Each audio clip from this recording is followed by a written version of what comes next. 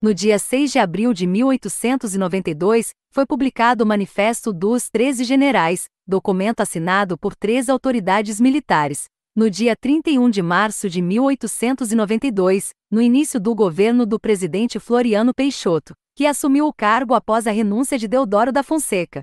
O documento contestava a legitimidade do governo e condenava as atitudes de Floriano Peixoto contra rebeliões nos estados.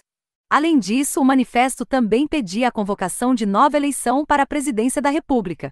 No dia seguinte à publicação, Peixoto ordenou a prisão de alguns dos envolvidos no manifesto e determinou que alguns deles fossem reformados.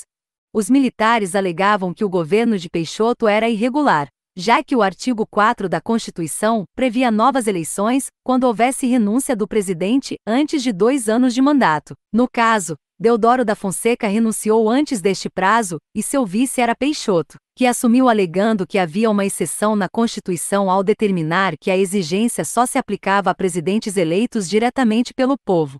Peixoto foi presidente do Brasil entre 1891 e 1894 por conta da sua maneira enérgica e ditatorial para reprimir movimentos contrários ao seu governo, ele ficou conhecido como Marechal de Ferro e também Consolidador da República.